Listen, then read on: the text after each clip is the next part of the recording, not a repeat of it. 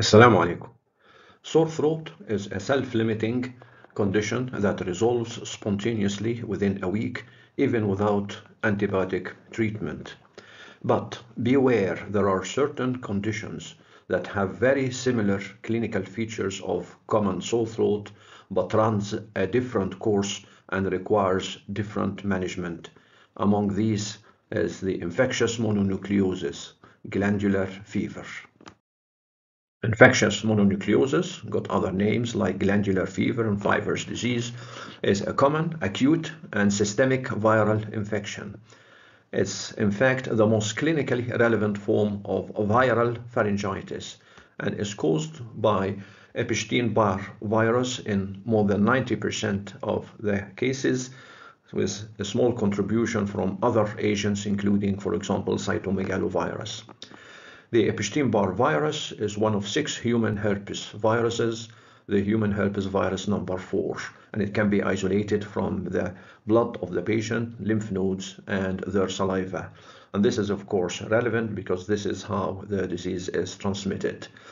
It has a classical triad of symptoms sore throat and fever, accompanied by a significant lymphadenopathy in the neck and elsewhere, hence the name the glandular fever, and has a fairly long incubation period between four and eight weeks. Infectious mononucleosis is primarily a disease of the young adults between the age of 15 and 25 or so, but it can present in early childhood as well as in older age groups. The incidence is quite high, estimated at 500 new cases in every 100,000 uh, persons per year, and is transmitted by saliva, and that's how it got its other name. It's described as the kissing disease. Most of the adult population had already had a glandular fever, either in the clinical or subclinical form, because most of the adult population have already antibody titers in their serum. The course of the disease is usually for 7 to 10 days for the sore throat and the pharyngitis, but lymphadenopathy can remain a bit longer, up to two weeks. And what's relevant is that malaise and fatigue could persist for a month or even more sometimes. It usually starts with a prodroma of four or five days with malaise and fatigue and headaches followed by the triad of the disease, the most common of which is tender cervical lymph nodes, followed by fever and a sore throat from the pharyngitis. The pharyngeal inflammation can cause um, a range of different manifestations, uh, ranging from just acute follicular tonsillitis to a gray membrane over the tonsils and other parts of the pharynx, including the, the nasopharyngeal lymphoid tissue and the base of the tongue lymphoid tissue as well. The other features would include petechiae on the soft palate, and in about 50% of the cases, there may be some abdominal discomfort and tenderness due to splenomegaly and hepatomegaly. Infectious mononucleosis must be distinguished from the streptococcal tonsillitis. The two conditions may have a fairly similar clinical features with some subtle differences sometimes. Among these differences is that in the infectious mononucleosis, there is usually an exudative form of tonsillitis with grayish membrane over the tonsil. And that grayish membrane may actually extend into other lymphoid tissue in the base of the tongue and can be seen on uh, nasoendoscopy over the uh, nasopharyngeal lymphoid pad, which would which will be seen as uh, hypertrophied and covered with the whitish membrane. The other feature is the lymphadenopathy in the neck is usually in the anterior part of the neck, the jugular-digastric in the case of streptococcal uh, pharyngitis and tonsillitis. In the uh, infectious mononucleosis, it could affect the anterior and the posterior triangles of the neck as well and can sometimes also extend to other parts of the body.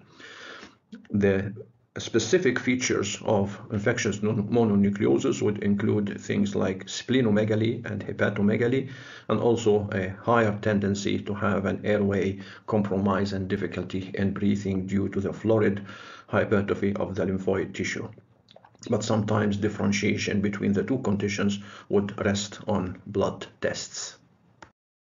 Among the other features of infectious mononucleosis is splenomegaly that can be detected in up to 50% of the patients. And this can be sinister because rupture can follow, a splenic rupture can follow blunt uh, trauma to the abdomen or sometimes splenic infarcts. There may be also hepatomegaly and jaundice that can be seen between 5 and 10% of the cases. But what is more relevant is that liver function tests are usually abnormal, particularly transaminases enzymes are always elevated. And if the patient has been prescribed any ampicillin or ampicillin-based antibiotics, almost invariably they're going to develop a skin rash of maculopapular reddish uh, rash. If a patient develops bilateral peritonsillar abscess, bilateral quinsies, this is almost diagnostic of infectious mononucleosis because it's very rare to happen with streptococcal or mixed or other mixed flora uh, peritonsillar abscesses. The hypertrophy of the lymphoid tissue in the Waldeyer's ring is also uh, quite significant. And as you can see here, there is such a florid enlargement of the tonsils and the postnasal space uh, lymphoid tissue. Sometimes this can cause airway compromise and had to be uh, attended for either medically or surgically. The other, less common and rare clinical signs of infectious mononucleosis includes periorbital edema in the eyelids. This is called the Hoagland sign. You could see the bilateral edema in the upper eyelids in this case. They may also present with cranial nerves involvement, either mono or polyneuropathies. Facial nerve weakness is the most common, but other cranial nerves can be affected, including the hypoglossal, the oculomotor, and the vagus either in isolation or in combination like a polyneuropathy.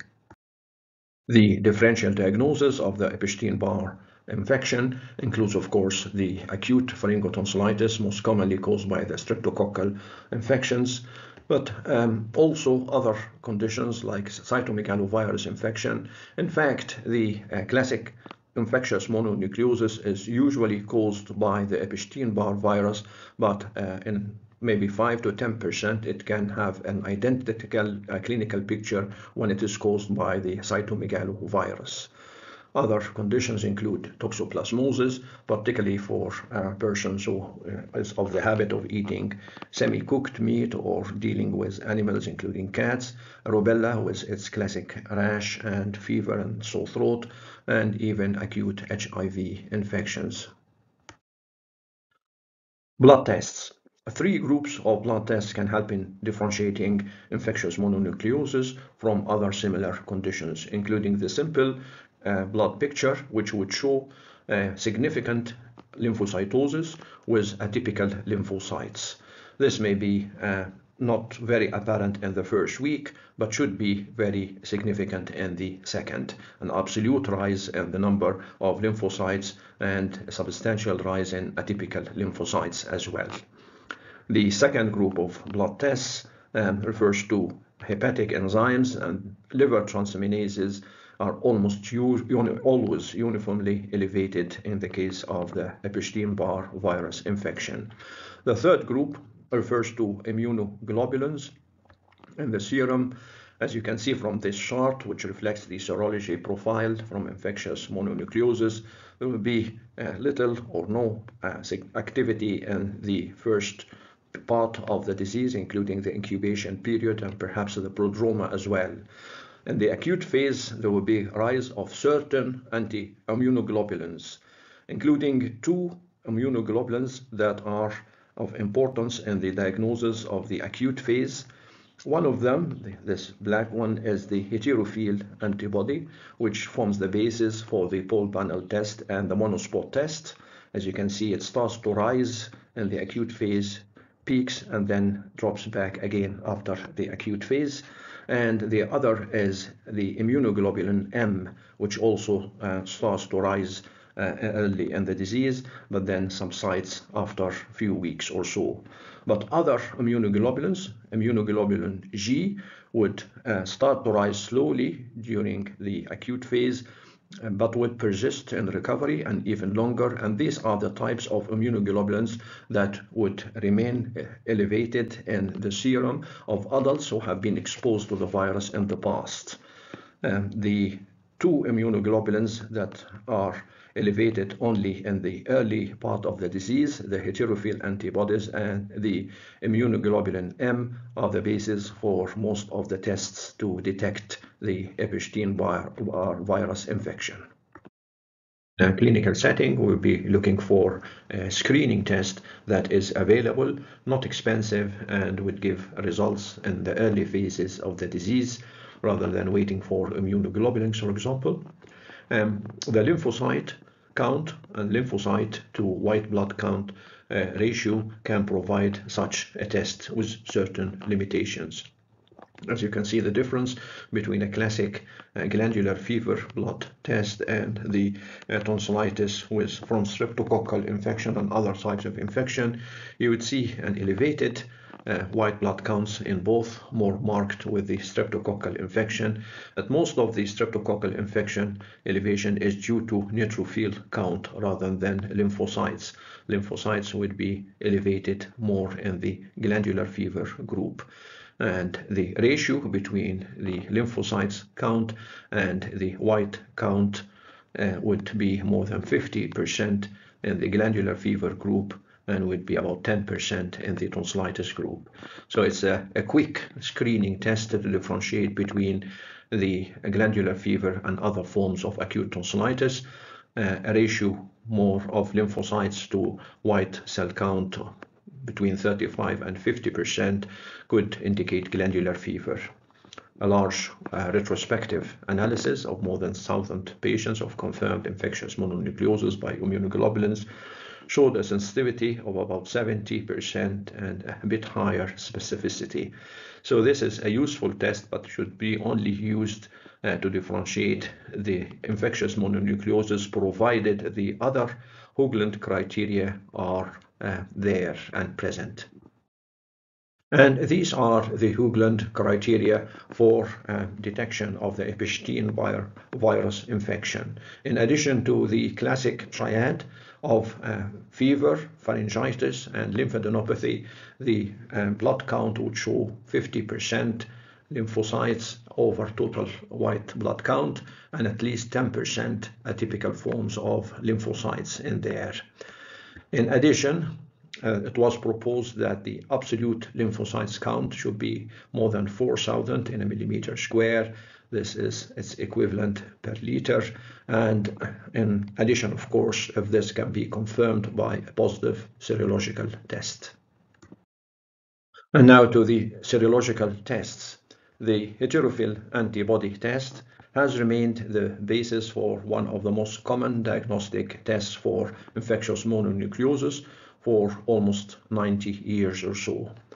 It was first introduced by Paul and Bunnell as early as 90 years ago, who uh, discovered that the serum of the infected patients, when uh, mixed with the sheep erythrocytes, could cause the erythrocytes to agglutinate. The monospot test, which is based on the same phenomena, uses bovine erythrocytes uh, extracted antigen rather than sheep erythrocytes to detect the heterophil antibody. And the most common uh, uh, serological test today is based on this. It's a good screening test because the sensitivity and the specificity is uh, far from being perfect. And we see now examples of uh, false positive and false negative for it, but it remains a useful screening test. A monospot test would miss one out of every seven cases of true infectious mononucleosis. The reasons for these negative, false negative um, heterophil antibody tests is this. The level of the heterophil antibody starts to rise in the acute phase but may not reach a threshold for, for few weeks. So in the first two weeks, only about 60% of the patients would have enough immunoglobulin, um, heterophil immunoglobulin, to give a positive test. It will eventually rise up to a peak, and 90% of the young adults will become positive but 10% would not. These are probably cases of infectious mononucleosis caused by other agents, not the Epstein-Barr virus, like the cytomegalovirus, for example. The other thing is that it would rarely be positive for children below the age of five years. So all these are causes for a false negative monospot test. It can also give false positive results, even in healthy controls, in cases with mumps, systemic lupus, erythematosus, Mediterranean fever, diabetes, and sarcoidosis. And the gold standard test would be based on immunoglobulin M. This would rise also early enough in the infection and would subside very quickly after the acute phase of the infection. It is uh, immunoglobulin M is antibodies towards a viral capsid antigen found during the acute primary infection by Epstein-Barr virus. The other tests that are less uh, used includes PCR real-time and measurements of the Epstein-Barr virus loads and the, uh, these can help in the early diagnosis of infectious uh, mononucleosis in case other tests, the serological tests, were inconclusive. The management in cases of infectious mononucleosis is primarily supportive and symptomatic. The illness would generally resolve within two weeks. It's important to avoid using any ampicillin-based antibiotics to avoid the uh, florid maculopapular eruption. It's also very important to avoid any contact sports during the first four to six weeks, even in the absence of splenomegaly to uh, avoid the risk of splenic rupture. And in ch children, uh, they should avoid using aspirin as analgesics and antipyretics because of the fear of developing Reye's syndrome which is basically a disease of childhood and can cause encephalitis and fatty degeneration of certain viscera.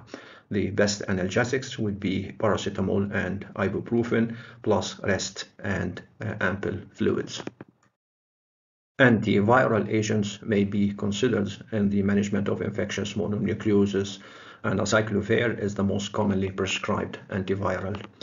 Uh, in a meta-analysis of five randomized controlled trials of more than 300 patients who were treated with acyclovir showed that um, the use of acyclovir is not justified for the treatment of mild to moderate uh, cases of infectious mononucleosis, no much uh, benefit.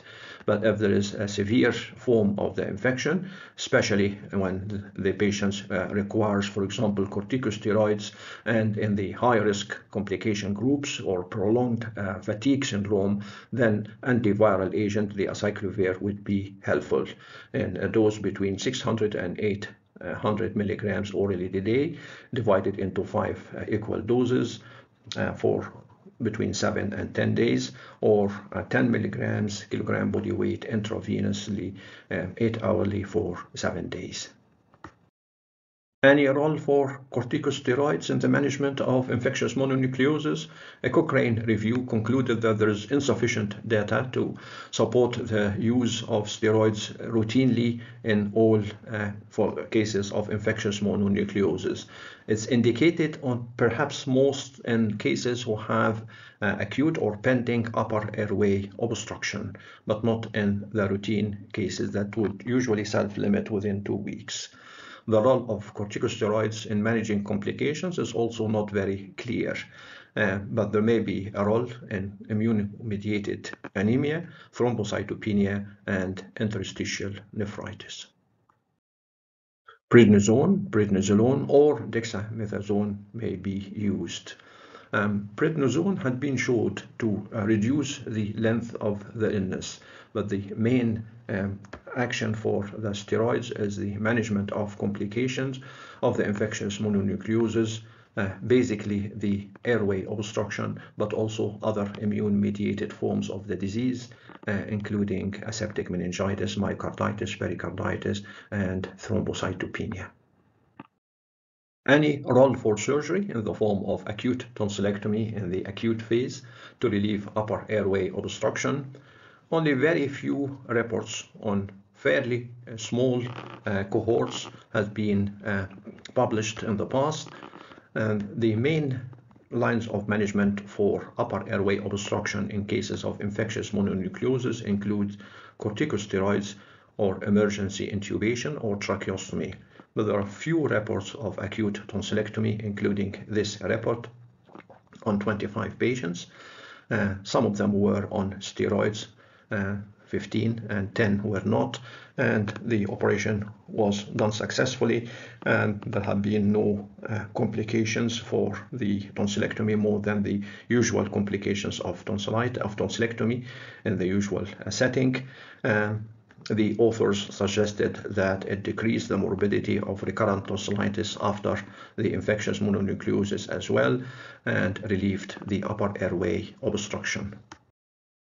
Another uh, small cohort of patients, 36 admissions of infectious mononucleosis over five years period in a single institute, and that um, these patients were treated initially with corticosteroids and did not respond well and the authors uh, concluded that acute tonsillectomy is an appropriate treatment option for the subgroup of patients who have upper airway obstruction and their symptoms and cannot be controlled by corticosteroids. Sore throat and pharyngitis caused by the Epstein-Barr virus can run a very different course from the ordinary or the common sore throat pharyngitis uh, disorder. These complications should be in mind while planning follow-up and while advising patients. Patients can run into airway obstruction in about 5% of the cases and the risk of splenic rupture is real. There is also the risk of hepatitis and jaundice in about 5% of the cases. Uh, several hematological problems, including autoimmune hemolytic anemia, thrombocytopenia, aplastic anemia, respiratory problems including pneumonitis and emphysema and even mediastinitis, several neurological problems including cranial nerve palsies, Guillain-Barré syndrome, meningoencephalitis, and gastrointestinal disorders including acute appendicitis and pseudoacute appendicitis and mesenteric adenitis, also genital urinary problems with genital ulceration and interstitial nephritis and some cardiac risks as well, including myocarditis, infective endocarditis, and pericarditis. In addition, there are certain oncological risks of Epstein-Barr virus infection in the genome-positive uh, patient, including lymphomas, uh, natural killer leukemia, Hodgkin's, gastric carcinoma, lymphoproliferative disorders in the immunocompromised patient, and it's a cofactor in the development of nasopharyngeal carcinoma. And finally, the other risks and possible complications include the rather common chronic fatigue syndrome, which may affect as high as 20% of the patients up to six months after their glandular fever infection. This is in comparison to less than 5% of patients who have the usual upper respiratory tract infection and is characterized by poor physical functions. Uh, this is the main factor in the chronic fatigue syndrome. Other factors would include that uh, with a history of Epstein-Barr virus, infection, the risk of developing multiple sclerosis is substantially increased. There's also uh, a causative role of the virus in the chronic active Epstein virus uh, infection syndrome and also conditions like hemophagocytic or lymphohistiocytosis. By this, we come to the end of this presentation on sore throat beware of the infectious mononucleosis, the glandular fever. Assalamu alaikum.